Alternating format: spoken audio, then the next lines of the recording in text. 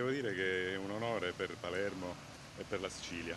E se il Renzi crede di avere un personaggio malleabile al colle, secondo me avrà fatto il più grave errore della sua vita. Mi potrei sbagliare, ma è una persona, Sergio Mattarella, che è una persona per bene, molto riservata, forse anche un po' timido, però ha le sue idee, è una persona determinata, una persona quello che ci voleva. Lei la conosce da parecchio? Sì, beh, siamo condomini, abitiamo qua insieme da 30 anni, più di 30 anni. Ha partecipato alle riunioni di condominio? Beh, certo, naturalmente. Sì, no, l'ultima è stata il 27 e il 28. E c'era? Prego? E c'era? Certo, certo che c'era. No, lui praticamente veniva sempre. Immagino che adesso sarà più difficile che venga alla riunione di condominio. Potremmo andarci noi al Quirinale, forse a farle là.